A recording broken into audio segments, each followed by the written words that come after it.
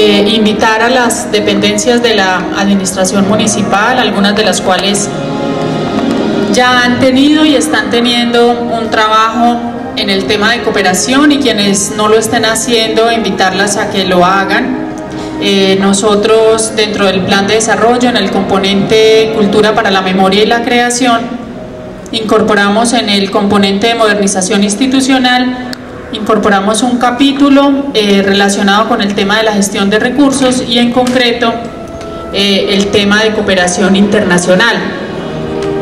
Para lograr avanzar en ese tema, realizamos un contrato con la doctora Catalina Jiménez, quien es experta en cooperación internacional, con experiencia no solamente nacional, sino también internacional. Fue la persona que estuvo eh, en la alcaldía de Sergio Fajardo, encargada de montar hoy la agencia de cooperación más importante que tiene Colombia, que es la Agencia de Cooperación Internacional de la ciudad de Medellín. Eh, lleva durante los últimos meses un trabajo de exploración en todos los mecanismos y alternativas que tenemos eh, en el tema de cooperación internacional, eh, muy concentrada en los temas de cultura y turismo, sin embargo, eh, con todo el conocimiento y el bagaje para explorar lo que se puede hacer en el tema de deportes, lo que podemos hacer en el tema de salud, lo que se podría hacer en el tema de infraestructura. El señor alcalde esperaba estar con nosotros hoy, no alcanzaba a regresar de la ciudad de de Bogotá, que está haciendo algunas gestiones, sin embargo, para él era importante y, no solicitó que abriéramos este espacio para las demás eh, entidades de la alcaldía municipal eh, con el fin de poder eh, hacia adelante fortalecer el proceso de cooperación de la alcaldía como un todo y no únicamente en unas áreas específicas. Eh, acabamos de tener una reunión con la gobernación del departamento que coordina de acuerdo con la ordenanza vigente todo el tema de cooperación y esperamos entonces con este ejercicio empezar una tarea articulada, coordinada y de apoyo con todos ustedes. Le voy a dar entonces la palabra a la doctora Catalina para que entre en materia. Gracias Adriana.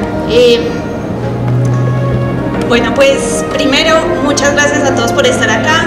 Estamos en un rodeados de música, de un buen momento para pues para que nos demos cuenta que estamos en el Instituto de Cultura y Fomento al Turismo de Pereira y, pues afortunadamente eh, tenemos la, posibilidad hoy de, compartir un ratico eh, para contarles este tema de cooperación internacional y un poquito como bajar eh, aprovechar y saber qué es lo que es y qué no es cooperación internacional y cómo se hace gestión y cómo no se hace gestión de cooperación internacional.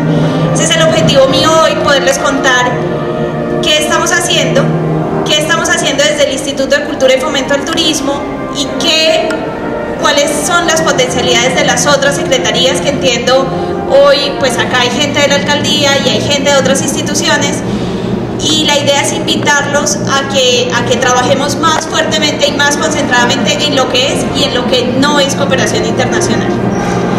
Antes eh, yo quiero presentarme y contarles quién soy yo. Bueno, yo soy Catalina Jiménez, soy una pereirana, así como me imagino la gran mayoría de ustedes. Estudié en el Liceo Francés y me fui de Pereira hace mucho tiempo, sin embargo mi corazón, mis raíces, todo está acá razón por la cual hoy estoy súper contenta de poder apoyar a la ciudad desde lo que yo, desde lo poquito que sé y desde lo que más o menos he ido aprendiendo en estos años. Yo estudié en Bogotá, estudié finanzas y relaciones internacionales y me fui a Francia ocho años a vivir en diferentes ciudades, eh, hice una especialización, luego hice una maestría y tuve la posibilidad de quedarme trabajando allá. Eso es, digo que es un, un, gran regalo que me dio la vida porque no solamente estuve en Francia estudiando y viviendo en el mundo universitario, lo que muchos hacemos, de ir un rato y de, y de estar allá y volver, sino que también tuve la posibilidad de quedarme trabajando. Inicialmente trabajé eh, con programas de cooperación y ayuda humanitaria en el África. Eh, trabajé en programas de alimentación, en campos de refugiados en eh, Sudán y en el Chad, que son las, los dos contextos de violencia eh, de desplazamiento urbano, de desplazamiento más grande que tiene el mundo, y Colombia está de segundo. Eh, nosotros ahí hicimos programas de sustitución y alimentación de urgencia. Posteriormente estuve trabajando en Liberia con programas piscícolas y reconstrucción del tejido para agricultores. En ese momento también para mí tuve la gran fortuna de poder trabajar en Sri Lanka y la gran eh, catástrofe humanitaria que fue el tsunami. Pero lo que fue muy interesante para mí fue ver cómo la cooperación internacional destina, puede destinar enormes flujos de recursos y esperando unos resultados muy concretos y muy rápidos. Y eso hace que cuando uno sea, esté del otro lado como operador, pues lo que le toca es decir todo el tiempo, espérese, espérese, espérese, porque no lo puedo hacer. Porque no es porque tenga toda la plata que el resultado cambie inmediatamente. Entonces, em, trabajé en Sri Lanka y estando ahí dije yo, ¿qué es lo que estoy haciendo por acá? Estoy súper lejos y en Colombia pasa lo mismo Pasa lo mismo que yo estaba viendo que estaba pasando ahí. Teníamos campos de refugiados con un problema alimentario grande. Eh, había un problema enorme de reconstrucción del tejido social. Sri Lanka es el país que tiene eh, el conflicto más parecido al de Colombia. Tiene grupos paramilitares y tiene grupos de guerrilla. Y hace dos años empezaron un proceso de negociación con el la última guerrilla. Entonces, esperemos que nosotros no nos demoremos dos años para trabajar con las FARC, pero sí tenemos el conflicto más parecido. Y a nivel de violencia somos, o sea, geográficamente es súper parecido, socialmente es muy parecido, es un país tropical, es un país donde se presentan más o menos el mismo tejido social, unas inequidades importantes, pero estando ahí, pues claramente dije, aquí hay algo que, pues, que, que está muy raro, que yo podría hacer en Colombia. Y me vine y recuerdo que fue un 31 de diciembre, pasando unas vacaciones en Colombia, me dijeron, oiga, hay un, hay un alcalde muy interesante que está haciendo cosas muy interesantes en Medellín y está montando además una agencia de cooperación internacional. Y ahí me llaman y bueno, muy rápidamente decido regresar, después de ocho años de vivir por fuera, a una ciudad donde yo pues no conocía, pero donde lo que sí sabía era que había un alcalde que a través de la educación pretendía modificar el esquema de ciudad.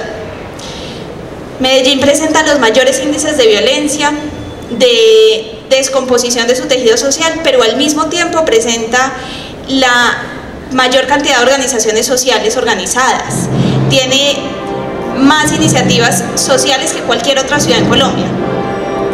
Y es cuatro veces más pequeño que Bogotá. Entonces uno dice, hay algo que pasa en Medellín, que en los dos extremos es bastante impresionante tanto a nivel de violencia como a nivel de descomposición del tejido social y, e iniciativas que buscan la recomposición de ese tejido social. Nos vamos a montar la Agencia de Cooperación Internacional y a decir, bueno, esto, ¿cómo es que lo tenemos que, trabajar? Pero dada mi, mi experiencia como ejecutora, pues podía tener como una mirada de qué le interesa al donante, qué hace el donante, qué, le, qué de alguna manera qué hace y qué no hace el donante. Inicialmente arrancamos un equipo más o menos de unas 15 personas a hacer gestión de cooperación internacional. Eh, muy aliados de una estrategia de ciudad, de una estrategia institucional de qué se debía hacer y qué no se debía hacer en cooperación internacional. Y esto necesitó, obviamente, mucha pedagogía. Eh, un poco lo que yo estoy haciendo hoy lo empezamos a hacer en Medellín desde pues mucho tiempo atrás y era decir, ok, con cooperación internacional no se recibe plata. Y eso es la, la primera cosa que quiero que les quede clara hoy. La definición de cooperación internacional teóricamente es esto. La cooperación internacional al desarrollo, porque es muy importante esa palabra, comprende diversas acciones que realizan actores públicos o privados con el propósito de promover el progreso económico y social en países de menor renta relativa, comúnmente denominados países del sur o países en vía de desarrollo, de modo que exista un desarrollo más equilibrado en el mundo y posibilitando así un contexto internacional más seguro, pacífico y estable. Eso es la teoría. ¿Qué es lo que busca entonces la cooperación internacional? Reducir brechas entre países más ricos y países más pobres a través de un desarrollo económico sostenible, generando relaciones sociales mucho más acordes donde el contexto de violencia que juega un papel muy complicado pues se reduzca. Y bueno, lo que, lo que estábamos esperando era cómo reducir, de alguna manera, cómo reducir esos índices de, de diferencias sociales a través del apoyo a la cooperación internacional. Y ahí fue el primer punto donde nos equivocamos. No es la cooperación internacional la que apoya los programas o la que logra que el programa sea más grande. Lo que hace la cooperación internacional es visibilizar una problemática y es trabajar conjuntamente para que esto sea posible. La alcaldía de Medellín priorizó todo en educación.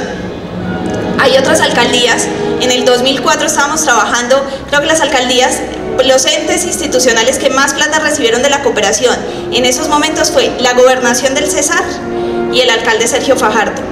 La gobernación del Cesar porque el gobernador priorizó todo a través de víctimas. Sus programas eran para atención a víctimas. Estamos hablando de 2004, primera desmovilización o desmovilización de las autodefensas, desmovilizaciones colectivas que generaban en Colombia un contexto particular en el tema eh, social. Teníamos el gran reto de reinsertar una cantidad de grupos de, jóvenes desmovilizados, pues de, personas que habían estado en la guerra. Entonces, em, se, define ahí desde Medellín una estrategia de, pues de, cooperación, de de cómo nos vamos a articular con los diferentes donantes. Paralelo, el gobierno nacional en ese momento suscribe la Declaración de París. Bueno, perdónenme, me voy un poquito más para atrás. ¿Cuál es la particularidad de Colombia en el tema de cooperación internacional? Nosotros, en el contexto latinoamericano, somos un país igual a los otros. Tenemos altos índices de inequidad e índices de pobreza no demasiado altos frente a eh, ciertos países del África y del Asia. Es decir, somos un país común y corriente en América Latina. Somos un país de renta media. Y por lo tanto no deberíamos ser receptor de cooperación internacional.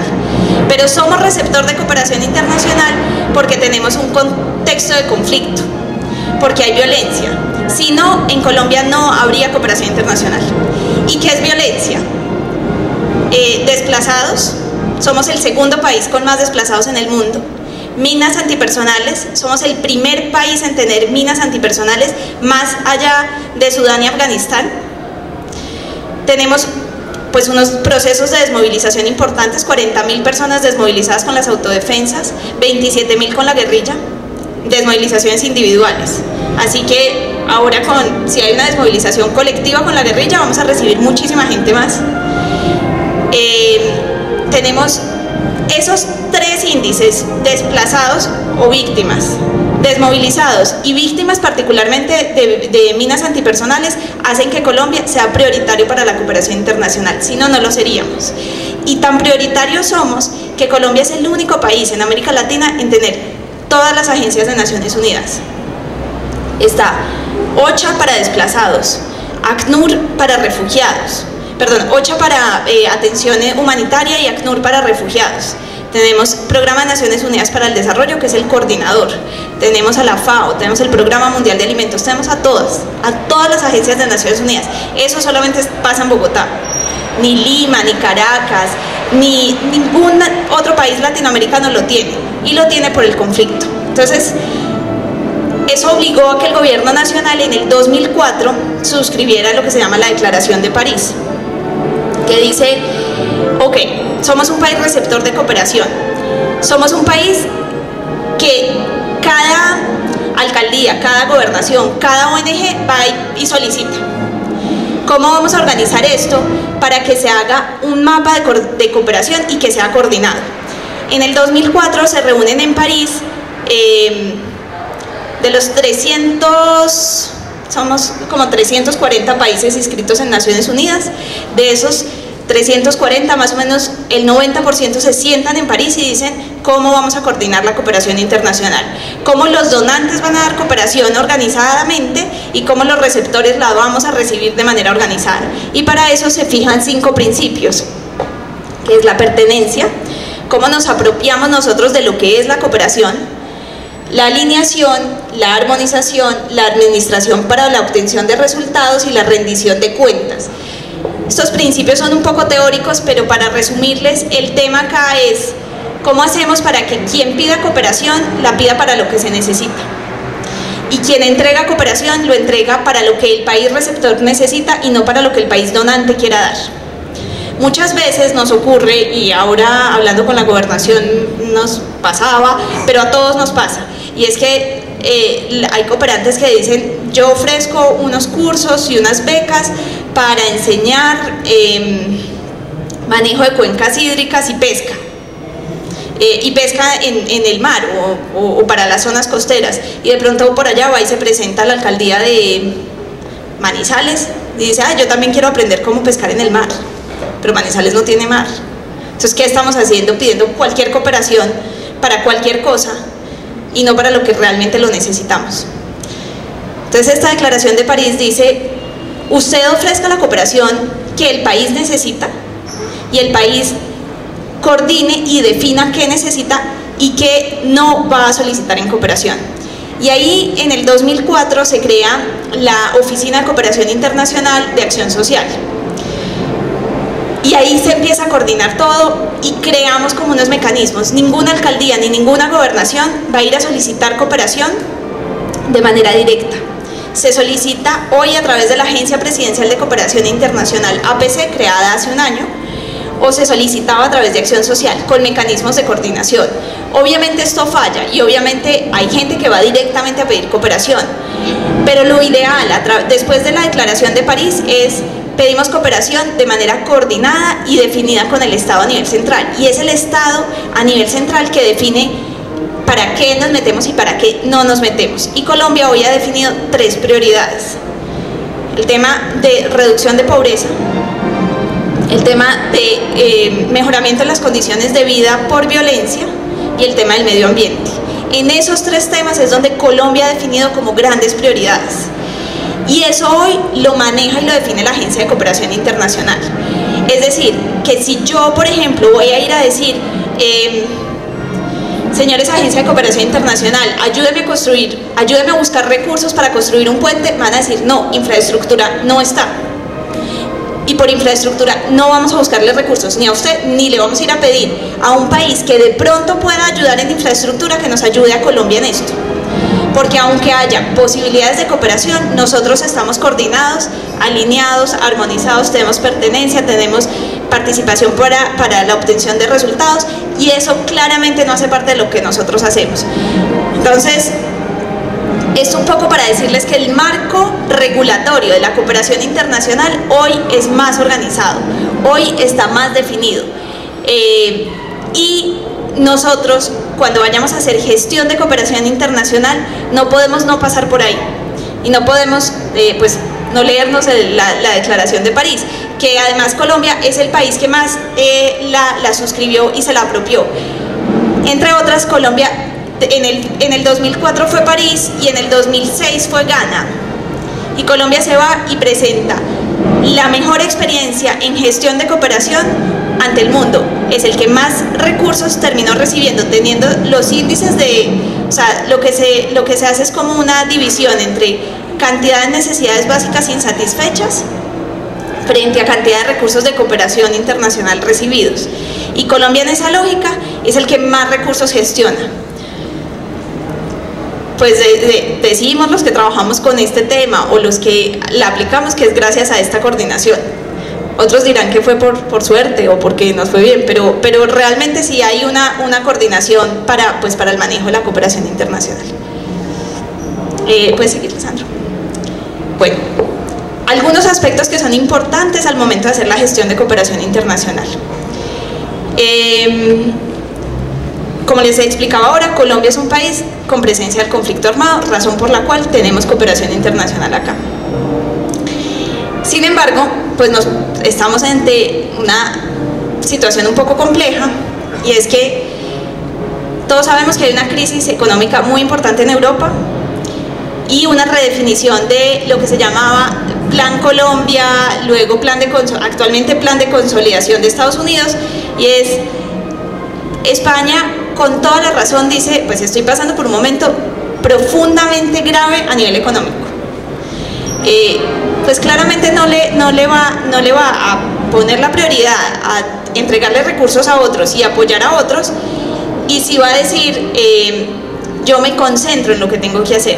España era, después de Estados Unidos, el segundo donante de cooperación bilateral para Colombia. Perder entonces nosotros hoy en día España es cambiar el mapa de la cooperación internacional, es cambiar ese contexto, ese contexto de qué estábamos haciendo y de cómo lo íbamos a hacer. España a partir de este año solamente está terminando de ejecutar los recursos que ya tenía asignados. Eh, ya no hay más recursos de cooperación internacional desde España para, para ningún país. Entonces, bueno, eso nos implica a nosotros un cambio. Y Estados Unidos eh, ya no es, ya no tiene a Colombia dentro de la prioridad de Plan Colombia, ahora pasó, pasó a ser, a ejecutar el plan em, en México que se llama, no se me escapa el nombre, pero es el mismo Plan Colombia, pero para México, la frontera eh, México-Estados Unidos.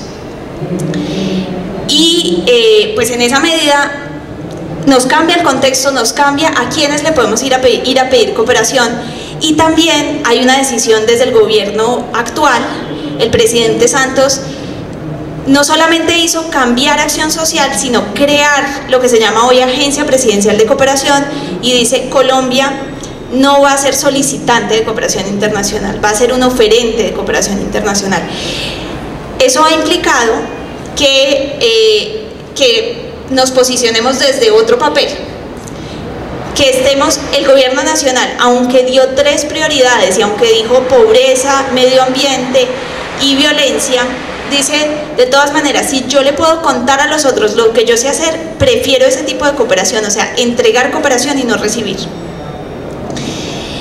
Esto hace obviamente que quien no se haya metido hace dos, hace, iba a decir dos décadas, pero pongámosle quien desde hace 10 años no haya estado trabajando en consolidar unas relaciones eh, a nivel internacional, hoy en día sea más difícil, porque la cooperación ya está más de salida que de entrada y porque lo que estamos es mostrando lo que sabemos hacer y no pidiendo recursos para hacerlo. Entonces, esto pues es, es importante. Eh, los temas prioritarios, efectivamente, como les decía ahora, para Colombia son pobreza, violencia y, eh, medio ambiente. Adicionalmente, eh, Estados Unidos aprobó hace, hace tres años, en ejecución en este momento, una donación de 80 millones de dólares para trabajar con poblaciones específicas. Poblaciones específicas son indígenas y afros y 80 eh, millones de dólares es una suma importante como programa. Ahora, eh, para una ciudad como Pereira, 80 millones de dólares en el contexto, o sea, 80 millones de dólares puede sonar una suma importante, pero si nosotros no tenemos unos programas específicos y ya definidos con población afro o con población indígena, pues va a ser duro ir a solicitar ahora, ay, ahora que sé que hay esta donación, ahora yo quisiera meterle mucho más esfuerzo institucional a trabajar con las comunidades indígenas para ser un posible receptor de esa cooperación. Ya ahora no es posible. Estados Unidos viene monitoreando quiénes son las ciudades donde mayor población afro hay en el país, definió creo que cinco, que son Cartagena, Cali, eh, Bogotá, Buenaventura y Quibdó. Eh, en esas cinco se va a centrar el tema poblaciones afro y en algunas ciudades el tema con poblaciones indígenas. Entonces, bueno, empezamos a ver cómo, aunque hay temas prioritarios, cada vez también está mucho más específico el territorio donde se trabaja. Em, hay, un, hay un tema importante para, para, pues para tener en cuenta y es que pobreza no se mide únicamente por eh, necesidades básicas insatisfechas. Pobreza también lo medimos o lo mide la cooperación internacional desde lo más amplio posible, es decir, contextos culturales, eh, qué tanto, por ejemplo, hay eh, acceso a salud, a, servicios de salud, eso también es pobreza, qué tanto eh, hay espacios recreativos y deportivos para los jóvenes, eso también es pobreza. Entonces, afortunadamente la palabra pobreza engloba un montón de cosas. Y ahí es donde uno, como, como consultor en este tema, es donde juega mucho. Porque cuando a mí Adriana me dijo, ayúdame a, mirar para el Instituto de, de Cultura y Fomento al Turismo, ¿qué podemos hacer desde la cooperación internacional? Pues si yo me hubiera quedado con lo que hace el instituto, pues claramente le hubiera dicho a Adriana en dos días, no, no hay nada para hacer, porque ni cultura ni fomento ni turismo son prioritarios para la cooperación pero la cultura entendida como un elemento que permite reducir la pobreza, sí. El turismo entendido como un dinamizador de la economía social, sí. Eh, la cultura para contener contextos de violencia, sí me permite. Entonces es un poquito, yo le puedo sonar un poco contradictoria y es que les estoy diciendo, no nos pongamos la camiseta que el donante me ponga, así no sea mi talla o sea, si el donante me dice yo le tengo la camiseta talla L y yo soy talla S, pues no me la pongo y no voy se la pido y no se la recibo. Pero si yo necesito una camiseta talla L y el donante solamente tiene camisetas talla M, pues yo le digo, oiga, yo tengo esta camiseta eh, y, de pronto hasta me puedo guardar un poquito porque necesito meterme por ahí. O sea, yo por violencia y por pobreza me puedo meter en muchísimos temas. Y por violencia y por pobreza puedo hablar programa, de los programas culturales, de las bandas musicales, de las bibliotecas, de las emisoras culturales, pero claramente necesito entender que lo que al cooperante internacional le suena y le hace clic en el momento en que yo le hablo es cuando digo, a través de estos programas es, voy a reducir pobreza, a través de estos programas voy a generar un contexto de convivencia pacífica. A través de estos programas voy a cambiar la estructura social eh, de, X ciudad o de X territorio. Es entendiendo que la cooperación internacional me va a obligar de alguna manera en irme hacia esos temas.